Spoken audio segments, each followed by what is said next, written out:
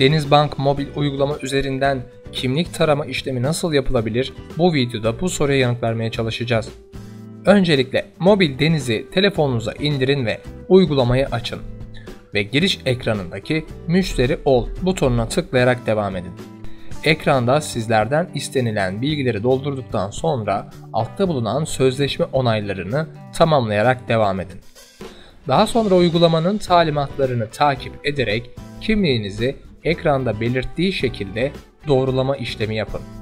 Yeni çipli kimlik kartınızı ekranda nasıl sizlerden yapmanızı isteniyorsa bu şekilde tarama işlemini gerçekleştirin. Ve daha sonra müşteri temsilcisi ile görüntülü görüşme başlanacaktır. Bu aşamayı da geçtikten sonra Denizbank müşterisi olmuş olacaksınız. Artık mobil Deniz ile 7/24 bankacılık işlemlerinizi kolay bir şekilde yapabilir, Denizbank'ın ayrıcalıklarından faydalanabilirsiniz.